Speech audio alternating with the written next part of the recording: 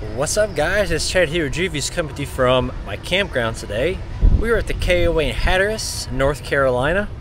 And as you can see behind me, the wind is kicking. I know you can't really hear it necessarily, but I will show you here. We've been getting we've been getting 20 to 30 mile per hour winds all day. And we got some heavy cloud cover. It has been on and off raining. And I just want to talk to you guys a little bit about Starlink and how it does in bad inclement weather. So let's see what we got. All right, this is the, we'll say the driver's side of my camper. This is where my slide out is. The actual winds is hitting us from this direction here. So this is gonna be the not windy side of the camper where all of my hookups are.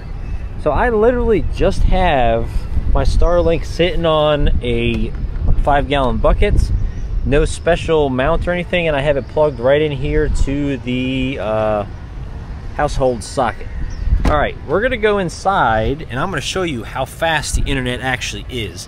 Now, the the campground has its own Wi-Fi, but it is so slow, it won't even give me one megabit a second. And as you can see, there is the tower of that right there. The Wi-Fi to the campgrounds has its own. See that thing right there, that pole? Literally leaning and it's flapping in the wind and it's giving no signal.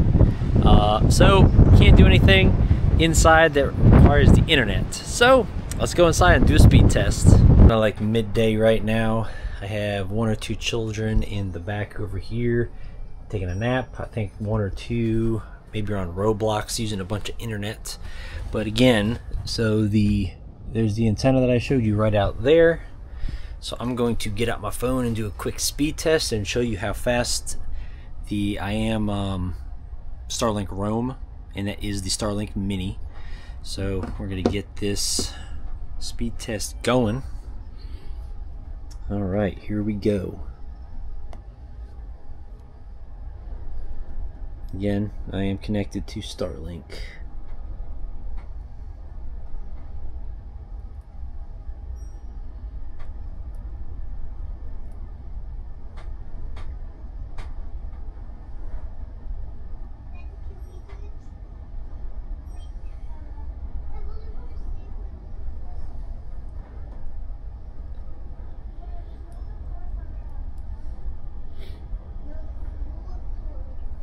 All right, result of the first one is 210 download, 14.3 upload.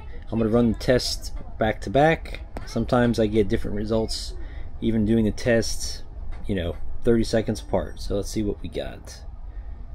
Eh, about the same. Yeah, about the same. This one's a little bit better, it looks like.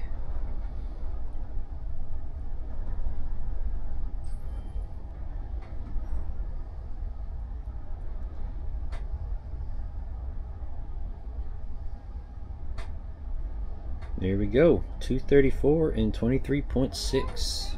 That just goes to show that how strong the signal is Starlink can get. Again, we've had cloud cover, it's been raining on and off all day here at the beach.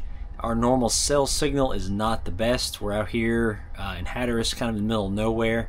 Um, we have Verizon normally, but with the Starlink, I'm getting, I got up to like 325 at one point today but obviously my two tests were showing 200 to 230 download which is more than enough for anybody. Like I said again in this camper we have a TV a smart TV we have my kids each have a tablet me and my wife have a cell phone um, so it runs all that no problem on full tilt. And again they're back there playing Roblox right now so that might have something to do with why it's not showing the 300 I got earlier. Alright guys if you have any questions comments please leave them down in the description below um, again, I some people swear they put the Starlinks up on a 20 foot pole to get better signal. I literally have mine on the ground on a five gallon bucket, and I'm still getting amazing results. So here we go.